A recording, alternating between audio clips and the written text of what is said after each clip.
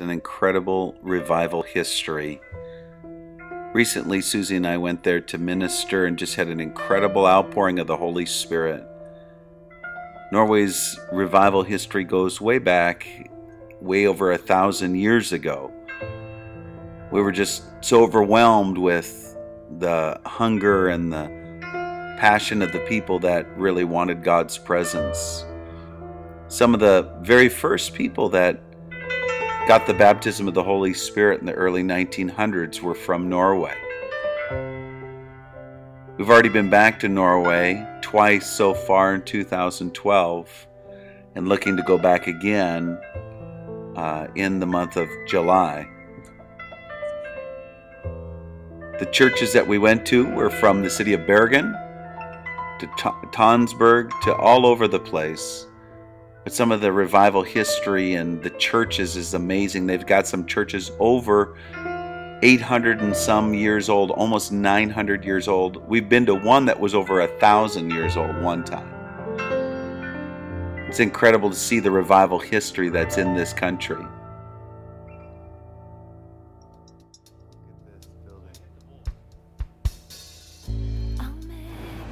You can see on the side of the building a cannonball from the 1600s that shot from the sea. While we were ministering in Bergen, we saw a church there that was way over 800 years old.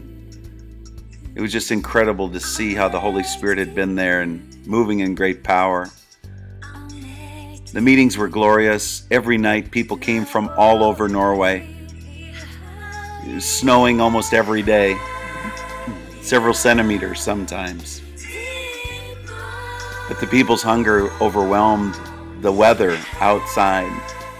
So it was awesome to see them come from all over Norway. We even had some coming from Sweden and Denmark.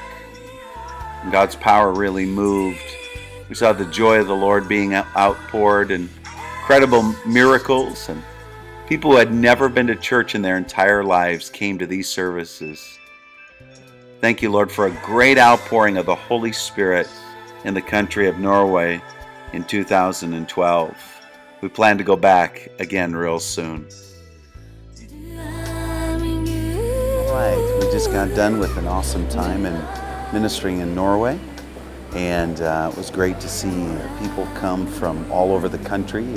Now we're in the airport, um, on our way back home already, uh, flying from Norway all the way back through Amsterdam, on our way to New York City. And uh, so, but it was great. We got to see a lot of people saved, a lot of people healed tons of people set ablaze with the fire of God. And so it was just great to see the hand of the Lord move in so many awesome ways. They had not seen uh, outpourings like that. And tons of people came who had never been to church and uh, came and were born again and, and just had a dramatic encounter with the presence of God. And so it was awesome. It was just a great privilege to go there and to minister there in Norway. Uh, this is my third trip here. And uh, so uh, we're going to be back again. We're going to be ministering here again uh, real soon. And so, but uh, we love coming to Norway. Very, very rich heritage of revival.